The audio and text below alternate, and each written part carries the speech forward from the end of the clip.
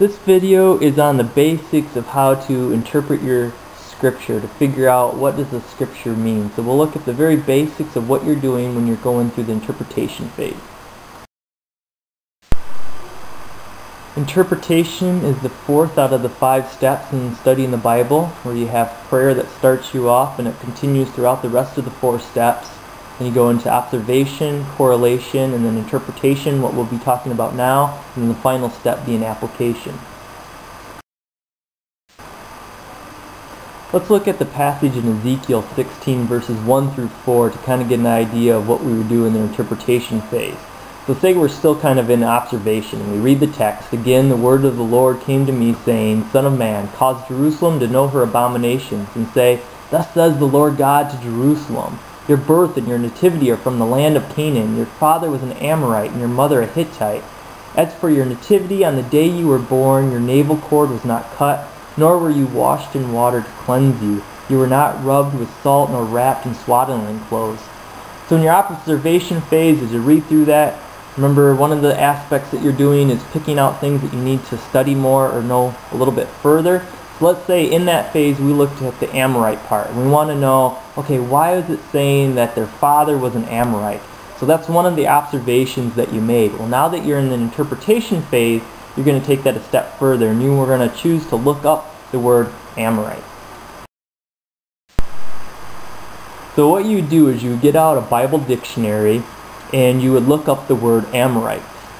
And once you find that, you're going to read the context of what it's speaking about Amorites and see if there's any hint in that Bible dictionary that tells you why Ezekiel would be talking about the Amorites being their father. So in looking up Amorite in a Bible dictionary, we'd see if we use Wood Marshall's New Bible Dictionary that we have the information given to us. The name was also used as a general term for the inhabitants of Canaan. And he also goes on to talk about how Ezekiel well intended the mixed population of Palestine, being a lot of Amorites into there. And as you can see in there, he not only gives us that information, but he gives us background information of where he's getting that knowledge from. He quotes different passages uh, in Genesis and Joshua to show why he's saying that the inhabitants of Canaan um, had the general term as Amorite being applied to them. And then he gives a little bit more detail and actually specifically mentions the passage that we're looking at about Ezekiel and saying it's because so many Amorites made up the people of Palestine that that's why they're become being called at their father. Now, this wouldn't be the only stop that you would make. You'd use maybe more Bible dictionaries if you have them, and there might be more information that's pertinent to what you're looking at within the text where it's talking about Amorites. This is just one example. So what we did with Amorite, we could also do with Hittites and looking up in a Bible dictionary and some other words that are in here. But instead of keep, instead of doing the same thing, uh, let's look at how we would use a different kind of resource than just a Bible dictionary. At the end of this verse, it says, You were not rubbed with salt, nor wrapped in swaddling clothes. So let's say we want to look up the concept of salt. One could use a Bible dictionary to look up salt or an encyclopedia, but another type of resource that you can use is one that gets into the customs and the culture of the people at that time. So in this case, I'm using the book of Nelson's Illustrated Manners and Customs of the Bible. So one of the things you could do there is get into the context page, and because we're trying to find uh, information about salt, we would see in the contents page that there's a chapter on the minerals and gems of Palestine in chapter 13. So we'd want to turn to that to see if we could find an entry on the idea of salt. Upon opening the resource, we'd see the fourth mineral mentioned is the idea of salt. So we can read that entry, and one of the things that's of interest that comes up with the idea of salt is it says, by biblical times, salt had become linked with health, hospitality, purity, and durability. And again, Ezekiel actually happens to be mentioned about speaking about newborn babies being rubbed with that salt. So there it kind of gives us a little bit more information on how salt was used for health back in those days. Well, let's look at another type of uh, resource that we can use when we're interpreting the scripture. If we're looking at Ezekiel 16, we can see after he speaks about the Amorites and the Hittites, it says, As for your nativity on the day you were born, your navel cord was not cut. So we could say, okay, we want to look more into the idea of nativity, and again, we can use a multiple amount of resources in looking at that. But let's say we want to get at uh, the original language. Say, okay, this is the Old Testament, so Hebrew. I wonder what the Hebrew word is behind nativity because I want to know what that Hebrew word actually means. I know what nativity means in English, but is the Hebrew word the same there as what our English is getting at? There are many ways to get to the original language behind our English text, but we'll look at just a couple of those. The first one's going to be the most common way.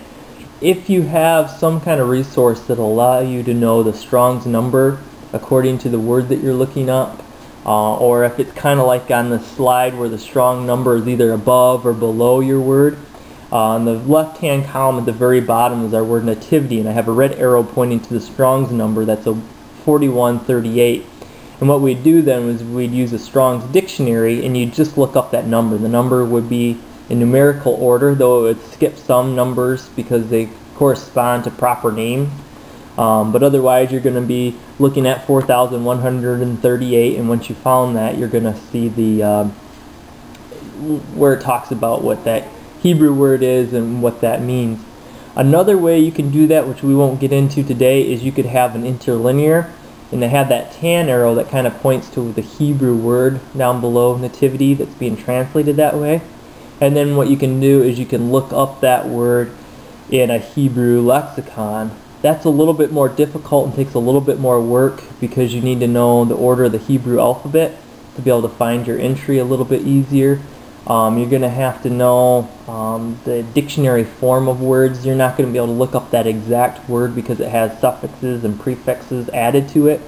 Uh, so it take a little bit of work to try to figure it out. So it's doable if it's the only resources you have, but it'll take a little more grunt work or a little bit more uh, time just because of not knowing the flow of the Hebrew. So the best bet is if you don't know Hebrew or from the New Testament you don't know Greek, is use those strong numbers.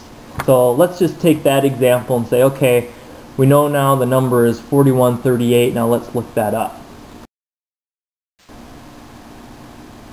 So what you would do then is you would flip to the page so you found 4138 and I just put the entry after that just to show that they're in numerical order. Now just uh, to give a word of advice, if you're looking up this resource that I've cited, the Theological Wordbook of the Old Testament, it doesn't go by these numerical values.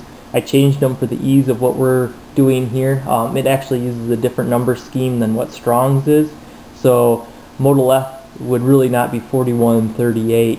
Uh, so I changed it because I don't technically usually use strong numbers. I use another form of numbers, but uh, the average person is going to be more looking at the Strong's numbers. It's uh, a little bit easier to get a hold of with those kind of resources. They're a little bit more affordable.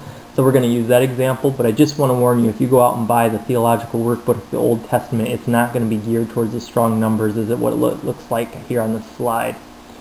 But otherwise, if it was, if you're using a Strong's dictionary, which I don't happen to have, or have on electronic form, so I had to use one of the dictionaries that I do have, you'd find 30 or 4138, and you see moledet is the Hebrew word that's being translated there. And then it gives us a definition or um, some renderings of what that word can mean. Kindred, relatives. And they give the example that sometimes it can be wrongly translated as nativity or birth. And then it goes on to give more information, but again I cut that out just to show the linear motion so I could put 4139 in there. But let's look a little bit more at what some of the dictionaries could say about this word. So in your definition in the dictionary, it can give you those different nuances of meaning. So we have here, one of them is family and relatives, another one is children, and the third one there that I uh, emphasize with the bold is birth, and it says the natural act of birth and coming to life with focus on identification of that birth with a clan or people.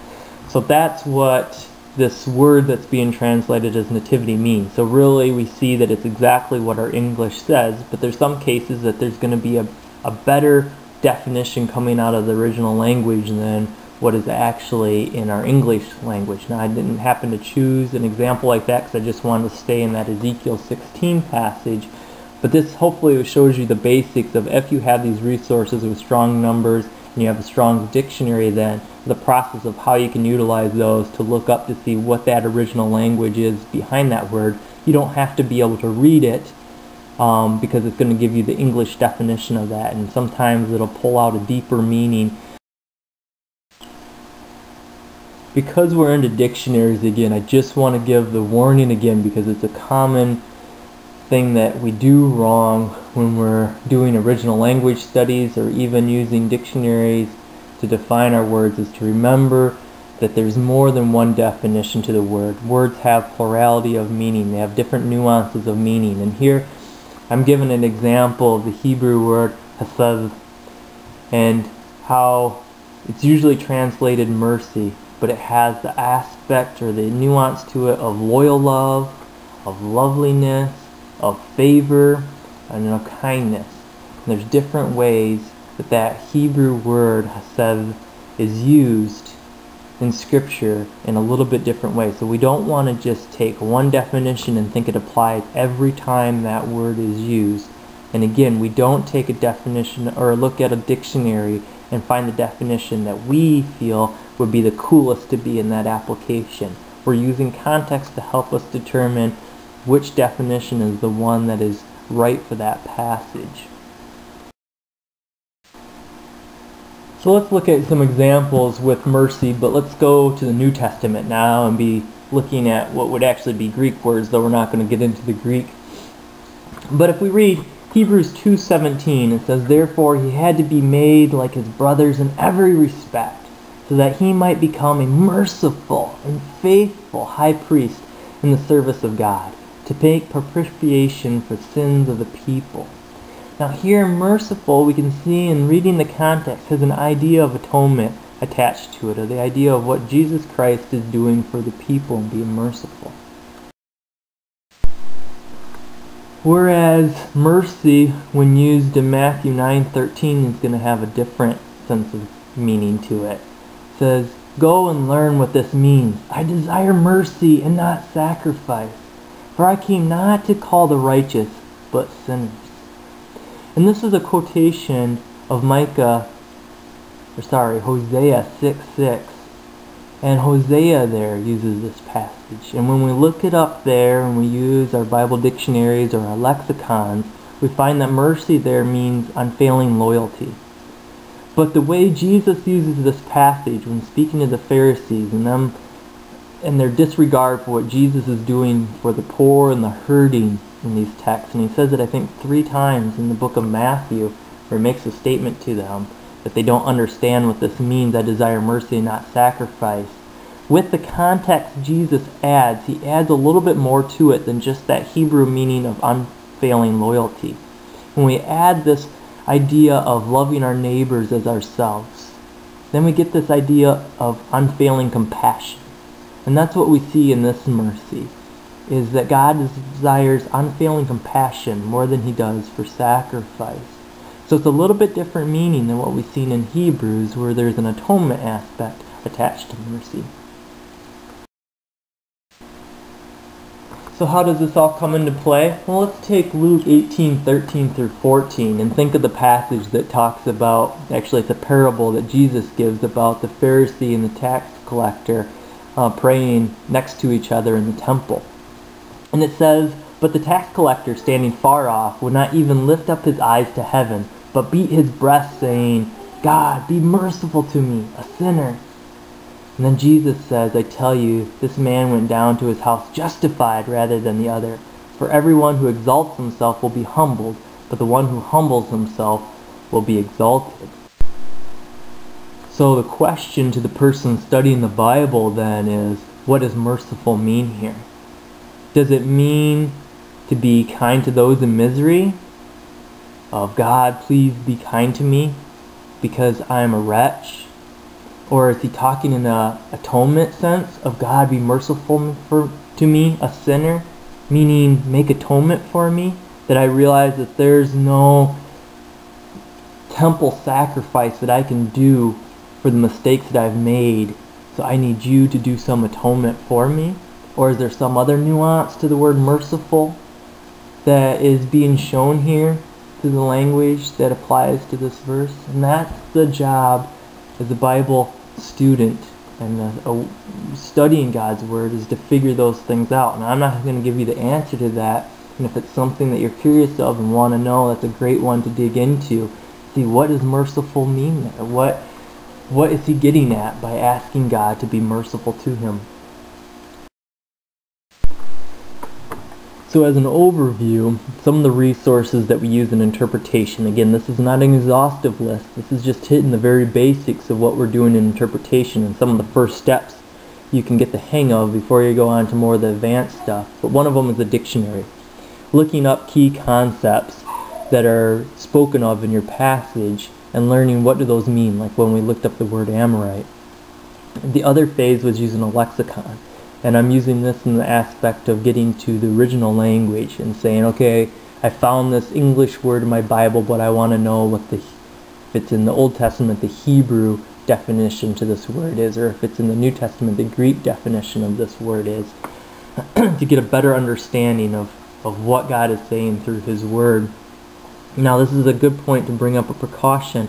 We don't look up our words in the English dictionary all that's going to let you know is maybe more of what the translator was trying to get across, but it's not going to really let you know what God is trying to speak to you more in depthly.